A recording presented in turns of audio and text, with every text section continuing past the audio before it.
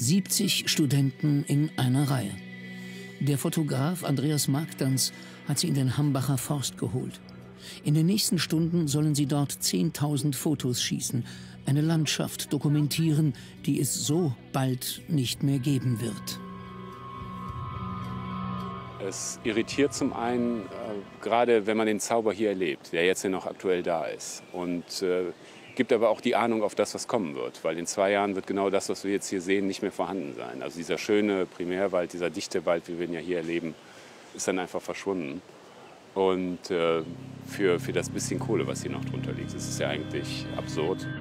In wenigen Jahren werden die Bagger des Energieriesen RWE den Hambacher Forst gefressen haben.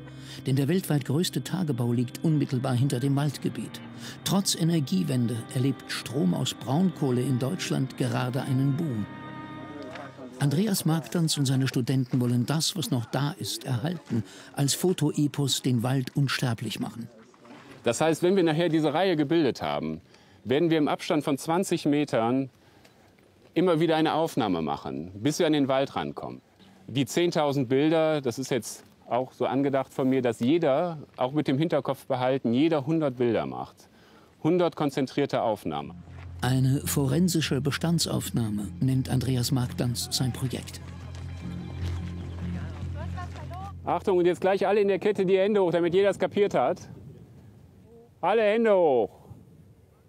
Und los, fangt an zu arbeiten. Viel Erfolg, viel Spaß. Zum Fotografieren stellt Marktans die Studenten wie einen Polizeisuchtrupp in einer Reihe auf. Wir wissen inzwischen, Braunkohle ist ein Energieträger, der äh, nicht mehr notwendig ist. Wir wissen über die Emissionen und wir wissen vor allem, wir haben auch die Alternativen. Das ist eigentlich der springende Punkt. Ja. Und es geht trotzdem weiter, obwohl wir äh, trotz besseren Wissens. Und entscheidend ist im Grunde genommen dahinter, dass äh, das RWE oder andere Großkonzerne äh, börsennotierte Unternehmen sind und äh, wo Dividenden ausgeschüttet werden. Und am Ende ist es, äh, das ist jetzt das Gruselwort, aber am Ende ist es der unzivilisierte Kapitalismus. Gegen die Zerstörung des Hambacher Forst wollen sie ein Zeichen setzen.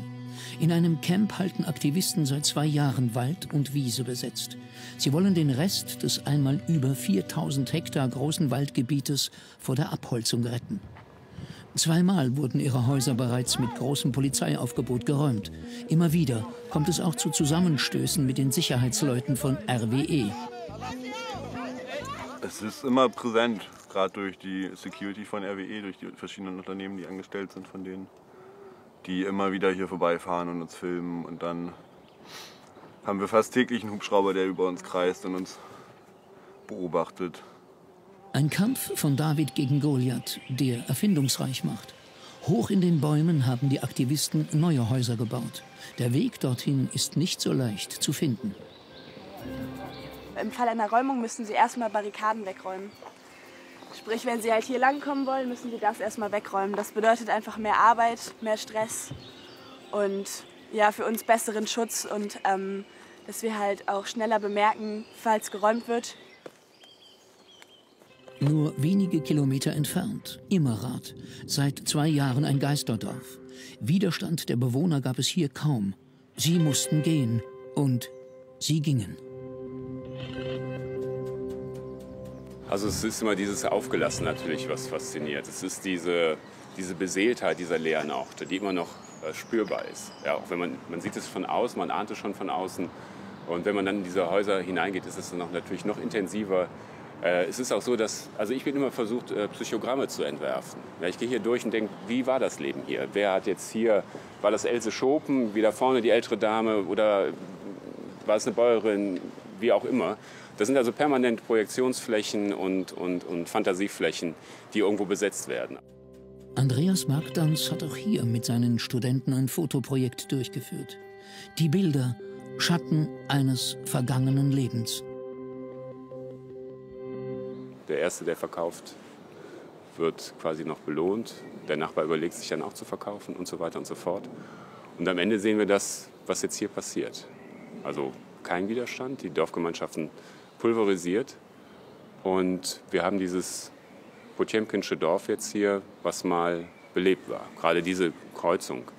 Wenn wir jetzt hier die Straße runtergehen, nach 200, 300 Metern beginnt die Grube.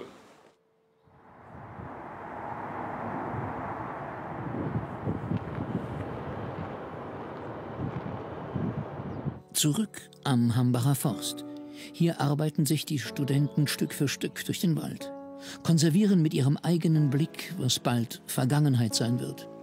Die 10.000 Bilder sollen später in Ausstellungen Zeugnis ablegen über den Verlust einer Landschaft.